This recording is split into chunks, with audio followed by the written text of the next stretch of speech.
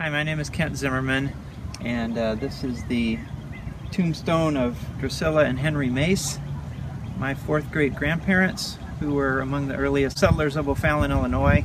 Frances Ellen Mace was the great granddaughter of Henry and Drusilla, um, who uh, died in the flu pandemic that started in uh, early 1918 and lasted, I think, until like 1920.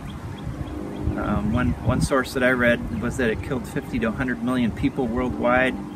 So the, the apparently younger people, like in their 20s, were especially susceptible because their immune systems would go on the attack, and actually that that kind of you know worked to their disadvantage. And so that, and of course, the you know 100 years ago, the medicine and treatments weren't what they are now that we take for granted.